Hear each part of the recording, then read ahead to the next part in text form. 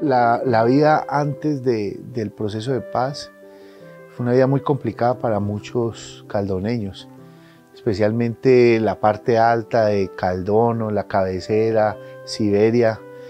Caldono fue atacado más de 300 veces, es una cosa que no le cabe en la cabeza a nadie. Sabemos que el municipio de Caldono pues, fue zona roja, entonces eh, los PEDES vinieron con ese propósito pues, de, darle como la oportunidad al municipio de resurgir y conocer pues, las necesidades de las personas y de la comunidad.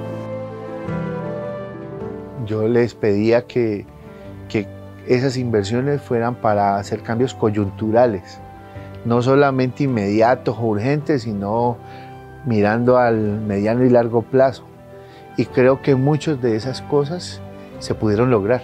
Por ejemplo, este centro de agronegocios cafetero de Caldono es, es uno de esos sueños que se volvió realidad. Este laboratorio de cafés especiales, las personas pueden traer su café y se les hace un trabajo muy detallado tanto en análisis físico y sensorial y podemos determinar qué tipo de café están produciendo. A través de este análisis también podemos determinar en qué etapa del proceso de la producción necesitamos mejorar.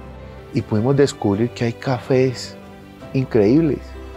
O sea, que hay cafés que van para una subasta internacional que estaban vendiendo allí por el desconocimiento. Ahora ya lo saben, el productor que, al que se le hizo la, la muestra y se le presentó y Mira, tu café es de 86, de 87, sin nada, solamente con lo que tú le haces. Y, muchos de la parte alta, de la parte indígena, que ellos tienen unas tierras ideales para producir café de alta calidad, pero no lo sabían.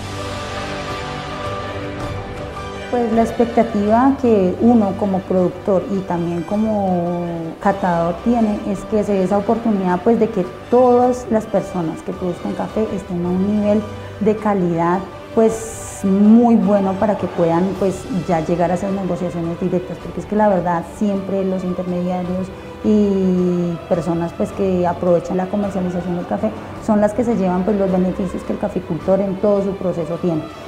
Entonces la idea es esa, que, que podamos generar esa cultura de que nuestro café, comenzando ya que es comprobado que es muy bueno, pero que la gente se empodere de eso y podamos nosotros hacer procesos de llegar al mundo con nuestro café y trasladar esos beneficios financieros de marca, de nombre, de prestigio a los, a los productores.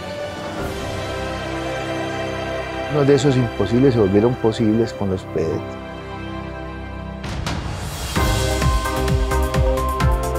Esto es Aportando al Cauca Televisión